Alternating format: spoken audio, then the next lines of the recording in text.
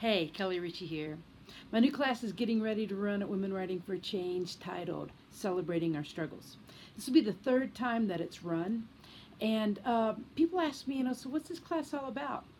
Um, the focus of it is self care.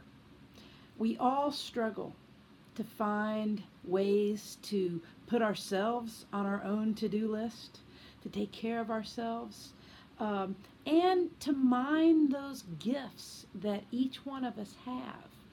So, the series starts off with us really learning to look for those gifts, those things that we can love about ourselves, creating affirmations that take us through each week of the series and help us build internal strength, to develop daily self care practices, to learn to uh, view ourselves as sacred um, why do we take care of everyone else and everything else but leave ourselves behind?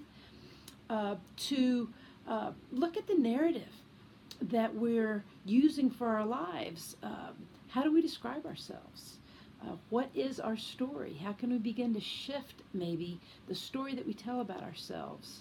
And then um, how do we look at our life and be able to dream and that be part of our journey, not this destination, not something that we can fail at. And then finally, how do we take our gifts into the world?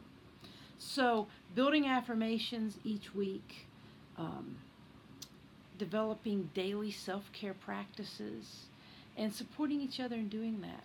And what struggles do we face? I mean, some people have heavy struggles from uh, throughout their life when they were growing up, Maybe they're facing something that's very difficult in their life right now, or maybe it's just trying to put yourself first and create balance in your life. Uh, wherever it is that you are on the spectrum, celebrating our struggles is the way that we can all come together as women and write. You do not have to be a writer to write. Um, journaling, writing, this is the safe space to write, to share, and to grow. So I want to invite you. Uh, if you have any questions, be sure and reach out.